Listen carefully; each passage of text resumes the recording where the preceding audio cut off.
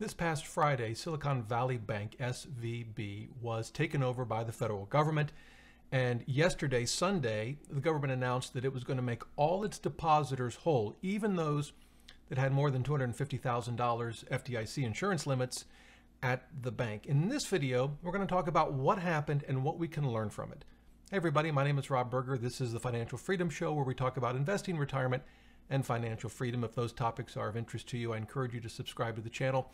I also send out a, a free uh, newsletter every Sunday morning. You can subscribe to the newsletter with the link below this video. So what I want to do today is cover four things. One, what, what exactly or who was or what is SVB, Silicon Valley Bank? What's their story? What in the world went wrong? What did the government then do about it?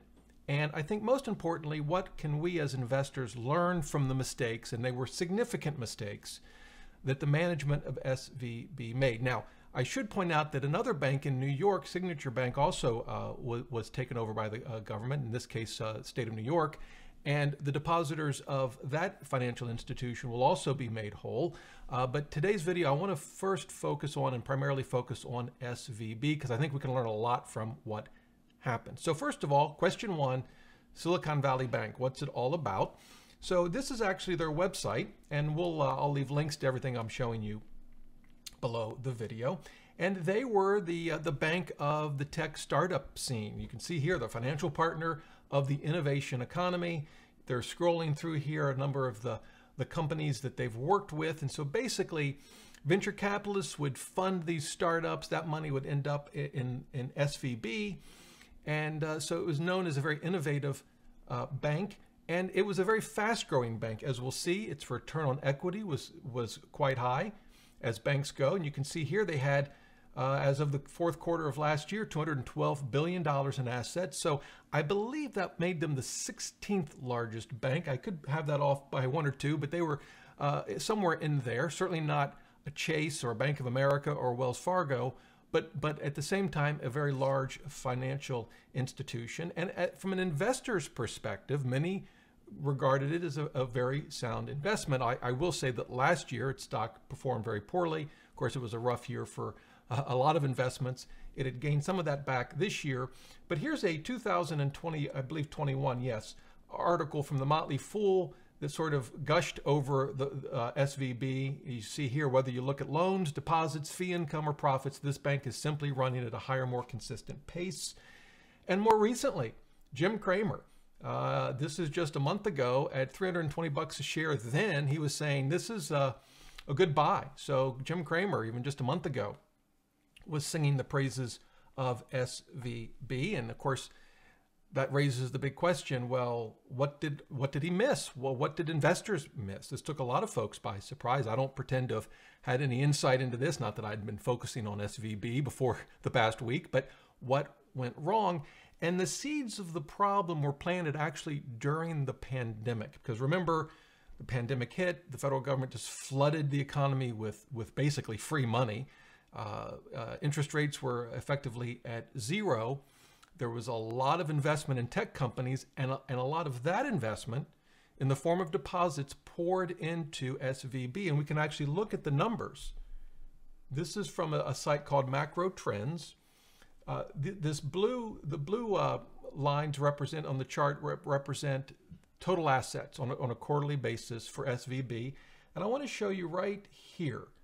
This is March of 2020, right? So this is the start of, of, of the pandemic. And you can see here, I can try to make this maybe a little, maybe a little bigger for you. They were at $75 billion.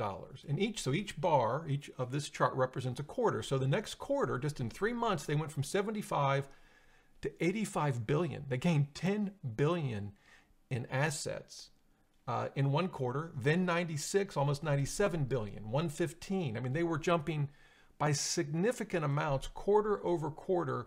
They topped out uh, at um, 220 uh, billion dollars. That would have been, let's see, in in March of last year, and then they started to trail off a little bit. But here was the here was the issue. This really planted the seeds of the problem because management at the bank had a problem. The problem is, what in the world do we do with all of this money that's coming in?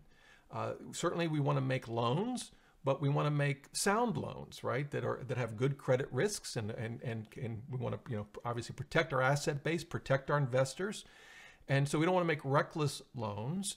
Uh, and then what do we do with money even beyond that? How do we earn some kind of return on all of the the money that's pouring into the bank? And here's where the problem set in. They decided to invest a lot of the money in long duration bonds. Now, why did they do that? Well, again, going back a year or so, uh, before the rates started to rise, as we all know, interest rates were effectively at zero. They were a classic mistake reaching for yield. And they did that by investing in long duration bonds, as we'll see. Now, the yields then weren't great. I've, I've seen it reported that their average yield was around 175 basis points, 1.75%. Of course, back then, eh, maybe not so bad compared to, say, near 0% on short term bonds, but it exposed their portfolio to significant interest rate risk, as we've talked about on this channel many times. As interest rates rise, the value of existing bonds go down, and that's exactly what happened. And let me show you. We are looking uh, at their most recent uh, 10Q. They hadn't filed their annual report yet for 2022. So the two rows I want to focus on are available for sale securities, this row right here, maybe a little difficult to see, uh, 26.7 billion, and held to maturity securities, 93.2 billion. That was as of September 30th of, of last year. So uh, available for, secure, for sale securities, as the name suggests, these are securities that they may sell to cash. Held to maturity, the idea is we're, gonna, we're not going to sell these. We're going to hold them, and when they mature, they mature.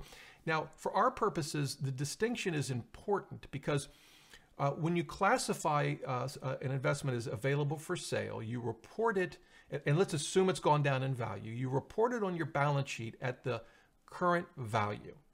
Uh, so, for example, these available for sale securities on the balance sheet are, are valued at 26.7 billion, even though they cost the bank 29.5 billion. So they've lost about $3 billion on these investments, and it's reflected here because they've, they, they're reporting the lower amount on their balance sheet. Held to maturity securities are accounted for differently under the rules. You do not mark them down to their current value. You can actually keep them on your on, on the books at your cost. So they're held to maturity securities, 93 billion. That's what it's reported on their balance sheet. But we can see here the fair value. Look at this. 77 billion. So they've lost about what over about 16, not quite 16 billion dollars in these what appear to be safe bond investments, even though again, they don't have to report that loss yet. It's it's reflected here, but on the balance sheet, they're still showing it at 93 billion. What's interesting about that number is if we scroll down and look at their total equity, it's right down here. Again, I know it might be a little hard to read, but it's $15.8 billion.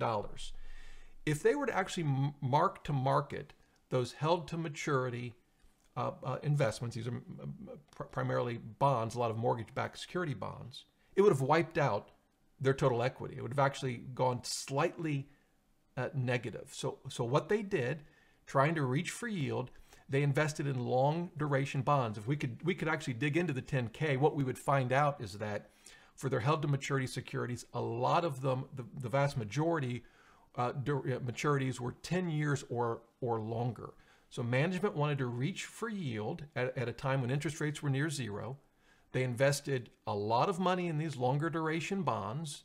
They took on this interest rate risk and well, they got hammered. Interest rates, as we know, have gone up significantly. As we just saw, they're $93 billion in bonds, now only worth 77 billion. Now, here's the thing. That by itself did not cause uh, the the run on the bank and for the, the federal government to, to close that bank and take take that bank over. What happened? Well, their deposit growth slowed significantly, and in fact, as we saw just a minute ago, uh, here we go. Their total assets, you know, were going up 10, 20 billion a quarter. I think they were probably getting used to that. And then uh, the, the 0% rate environment changed, and whoops, everything just came to a screeching halt. In fact, total assets started to go down. They had these investments on their books at, at, at frankly, a, a significantly higher amount than their true value. And so, what the bank decided to do, ironically, it was to appease uh, depositors, make them feel, you know, that the you know that the bank was solid, appease investors. They sold some of their uh, bond investments, about uh, ended up taking about a 1.8 uh, billion dollar loss on a sale of about 21 billion in bonds. They issued more equity, raised more equity capital, and they also sold some convertible bonds. The idea was we're to we're going to pull in all of this cash and that'll make the depositors feel secure and investors well it turns out it had the opposite effect venture capitalist firms saw all this happening. They had clients uh, that, that they were investing in that had their money at svb and they got nervous. So last week there was a classic run on the bank and the, the vcs said to their portfolio clients get your money out. And so there was a run on the bank. Uh, they started pulling out a lot of money from the bank and that forced the, the government to come in, step in, take over the bank, close it down on, on Friday. Eh, but again, it all stemmed from bank management taking a huge risk in reaching for yield with long duration uh, fixed income securities. Interest rates went up and they took huge, huge losses that, if you mark to market, effectively wiped out uh, the, the, the equity reported uh, on uh, their balance sheet. So, what did the government do? Well, as we, we noted, uh, they came in Friday, took over the bank. Now, at that point, uh, those folks, you know, uh, uh, the, the depositors had $250,000 worth of FDIC insurance. I kind of chuckle as I say that because these startups had millions of dollars at the bank, much of which was going to be used to pay their employees. So they were they far exceeded the $250,000 FDIC limit. And over the weekend, there was a, a lot of uh, chatter in, in, the news, social media saying, look, the government has to step in and make the depositors whole, even those that have more than 250,000. If you don't do that, government, this is what uh, many were saying, uh, there's going to be a pretty significant run on, on other banks starting today because you know companies have more than $250,000 at a lot of banks they're going to have a, a, fear that the same thing will happen at their bank. And there's going to be a, a pretty uh, significant run on banks across the country. So, what did the federal government eventually do? Well, we can actually look at it. Again, I'll link to all of this. Here is the joint statement. It comes from uh, the Department of the Treasury, the Federal Reserve, and the FDIC. And the long story short is they came in and said, look, we're, we're going to classify uh, SVB and Signature Bank as, as uh, representing what they call systemic risk. In other words, uh, the risk isn't con- contained just to these two banks. If we don't do something, it's going to carry over into the banking system as a whole. And therefore, we, what we're going to do is we are going to pay out all depositors all of the money they had at the bank, even if it exceeds the FDIC insurance limit of $250,000. Now, I don't want to get into the politics of all of this, but it's it's always part of a story like this because then you get some folks saying, "Wait a minute, you're bailing out a private party. You shouldn't do that." Now, so what the government has said in response to that is, "Look, we're not bailing out shareholders. If you were an investor in SVB, you've lost all your money. We're not bailing out, for the most part, bondholders. Right? I mean, they may at some point get some of their money back. Uh, they stand before uh, stockholders, before equity, but we're not going to bail out bondholders. We're here for the depositors, and they say it's not going to come from taxpayers. We're going to we're going to uh, whatever the bill turns out to be, we're going to levy that. The FDIC is against all the other uh, member uh, banks. So that that's sort of their strategy, if you will, for convincing folks. Look, this is not a traditional bailout like we saw, say, in 2008. I don't want to really get into the politics of it. You'll have your views on it, uh, whether this was a good or bad thing. For our purposes, that's what the federal government did. So if you have money at SVB or Signature Bank, it should be available to you, in fact, starting today. All right, so that's what SVB is. That's what went wrong and what the government did about it. For me, the real interesting thing is what can we as investors take away from all of this? And I think there are three sort of three broad things. The first is we need to keep reminding ourselves that every investment has risk. That, and that's true if you're putting your money in US government bonds. In the case of S, uh, SVB, a lot of their money was in mortgage backed securities. But every investment, no matter how safe it is, and we often hear bonds are safer than, than stocks, which really means they're less volatile. Generally, that's true. But every investment, even ones that are marketed as safe, have some risks. That's point one. Point two, more specific to bonds, as we've talked about, there are really two big risks when it comes to fixed income investments. One is what's called credit risk, the risk that the borrower won't pay you back. Now, that really wasn't in play here.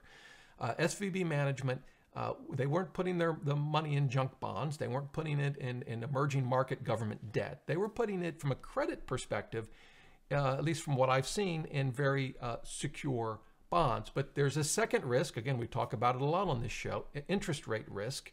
And when you invest in long dated bonds, in this case, they were invested uh, a majority in, in, in bonds that mature 10 years or longer, you are taking on significant interest rate risk. All that means is, as interest rates rise, the value of your bonds, which are, are paying lower rates, well, they go down.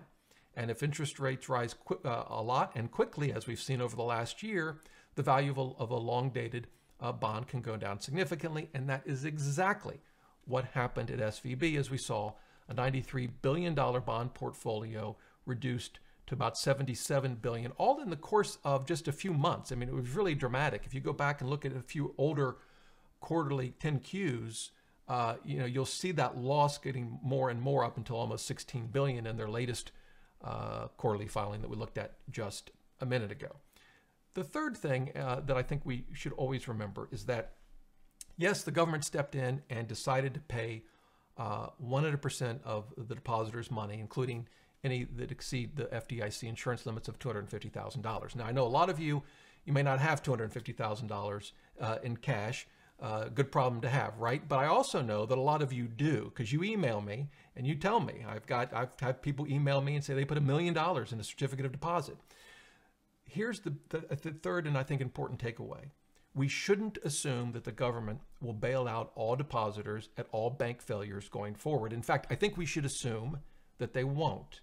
And we need to act accordingly. So if you have a lot of money that you want to keep secure, there are ways to do that, right? There are ways to get more than $250,000 in FDIC insurance. And in fact, I'm going to talk about that in my very next video that I'll have later out this week, how to get more than $250,000 in FDIC insurance. It's actually quite easy.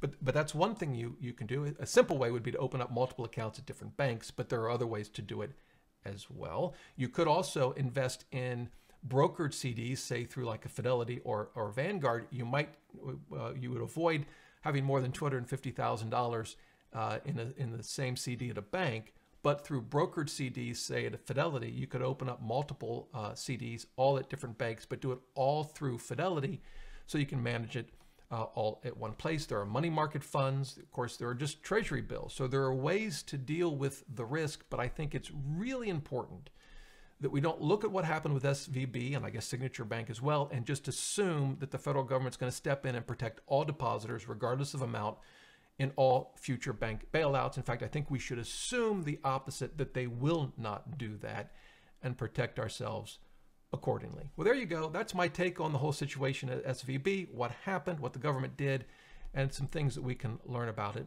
Uh, if you have any questions, leave them in the comments. I'll do my best to help you out any way I can. And until next time, remember the best thing money can buy is financial freedom.